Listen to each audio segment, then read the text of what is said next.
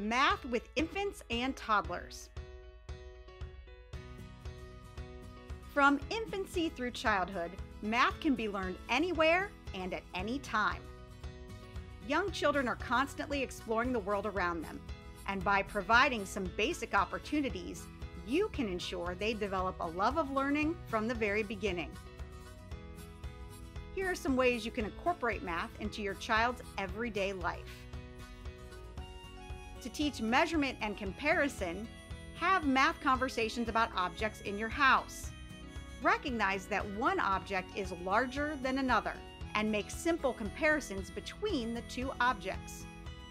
A tape measure makes a great inexpensive toy for young children and gives them exposure to numerals, fractions, and the concept of measurement. To help with geometry and spatial relations, Match identical shapes by using shape sorters or simple shape puzzles. Point out familiar shapes you can see in your home and neighborhood. Understand some directional words, top and bottom. Follow directions using directional words. Put the toy in the box.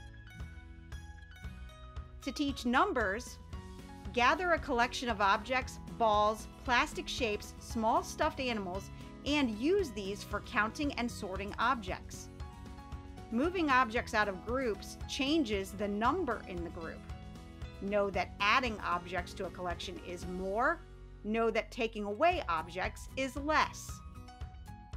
To work on number concepts, say several numbers, but not necessarily in order. Understand the meaning of numbers 1 and 2 understand when one collection has more than another. To teach time, use an hourglass timer or a visual timer and time how long it takes to do some tasks. And make the connection that it takes longer to do some tasks than others. Learning math starts in infancy and continues every day and by combining these tools and allowing your child to explore their world, you can instill a love of math from the very beginning.